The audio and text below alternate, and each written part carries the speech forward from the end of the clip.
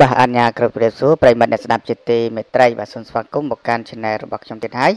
ហើយថ្ងៃនេះដែរសូមលើកនៅអត្ថបទដ៏ស្រង់បាទតកតងនឹងមតិរិះគន់របស់ប្រជាពលរដ្ឋនៅលើស្ពេនអ្នកលឿងបាទថាមានអ្នកយកលុយនៅលើស្ពេនហ្នឹងហើយមានបាទគេបោះដាច់គោនៅលើស្ពេនដើម្បីឲ្យ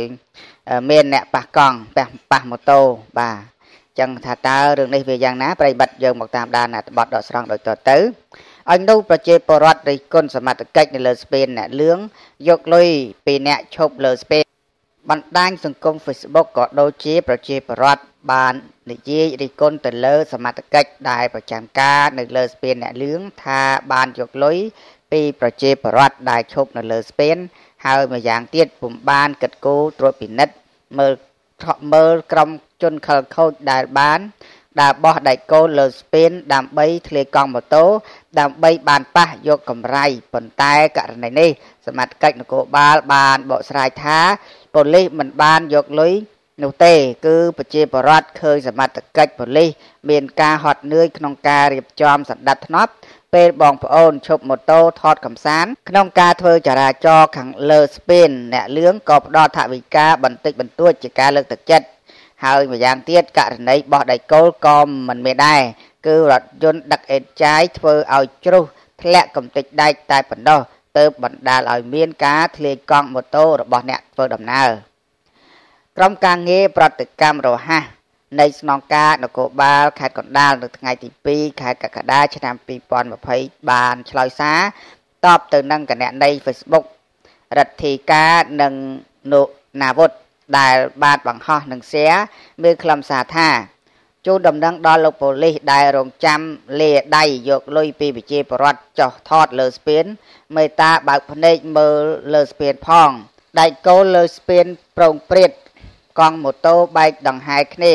ខ្ញុំជាប្រជាពលរដ្ឋរស់នៅអ្នកលឿងសុំខ្លាចហើយមានដែកគោលគ្រប់ប្រភេទថ្ងៃមុនប្តីដើររើសបានមួយថងទាំងព្រឹកក្រោយទទួលបានព័ត៌មានខាងលើក្រុមការងារប្រតិកម្មរហ័សនៃអធិការរដ្ឋានគរបាលស្រុកលើកដែកបានចេញរបាយការណ៍ឆ្លើយតបទៅនឹងគណនីខាងលើក៏ដូចជាសាធារណជនដែលប្រើប្រាស់បណ្ដាញសង្គមជ្រាបថាកុំមានការយល់ច្រឡំនៅលើស្ពានអ្នកលឿងជាជំនួយរបស់ប្រទេសជប៉ុនកម្លាំង ផ្នែកសណ្ដាប់ធ្នាប់ស្រុកលើកដែកខេត្តកណ្ដាល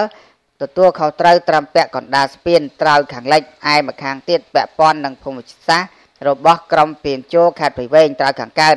ចំពោះកម្លាំងម្នាក់ដែលឈរជើងរៀបចំសម្ដាប់ធ្នាប់លើស្ពាន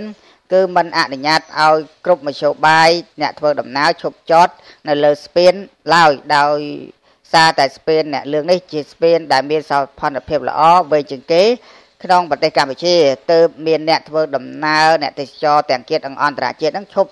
ឈប់មធ្យោបាយរបស់ខ្លួនដើម្បីយកខ្យល់អាកាសនិងថតរូបទុកជាអនុស្សាវរីយ៍ជាមួយនឹងក្រុមគ្រួសាររបស់ខ្លួនមួយផ្លេតមួយផ្លេតតែប៉ុណ្ណោះ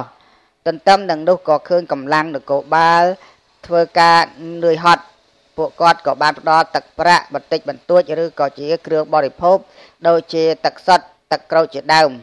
ចំពោះកម្លាំងឈរជើងលើស្ពានខាងលើផ្នែកសណ្ដាប់ធ្នាប់ក៏ដូចជាក៏ដូចជាអធិការពុំបានបង្កប់បញ្ជាឲ្យទារប្រាក់អ្នកមកកំសាន្តឬអ្នកធ្វើដំណើរឆ្លងកាត់នោះឡើយចំពោះដៃគោដែលថាមានគេបាចលើស្ពានគឺពំពិតនោះទេ ដោយសារតែឡានដឹកអីចាយរៀបចំមិនប្រុងប្រយ័ត្នបានជ្រុះដៃគោលស្រួចតូចតូចបណ្ដាលឲ្យមុតកង់ម៉ូតូ កង់ឡានបងប្អូនប្រជាពលរដ្ឋដែលធ្វើដំណើរឆ្លងកាត់រីឯអ្នកប្រកបមុខរបរប៉ះកង់ម៉ូតូឡានវិញកន្លងមកកម្លាំងយើងក៏បានចោះអប់រំណែនាំពួកគាត់